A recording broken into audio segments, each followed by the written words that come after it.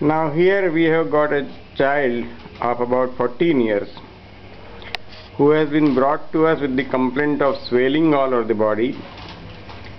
Uh, he does not admit of constipation but he says that he is very sensitive to cold. All the day long he doesn't come out of the quilt that he is in.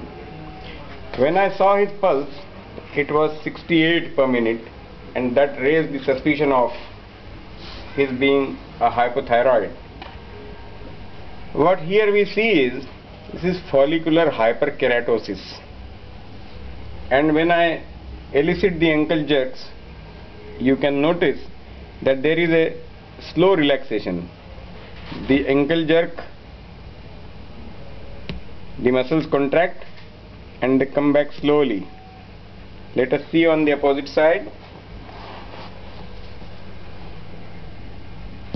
Here as well, what you notice is the muscle contracts and it comes back slowly.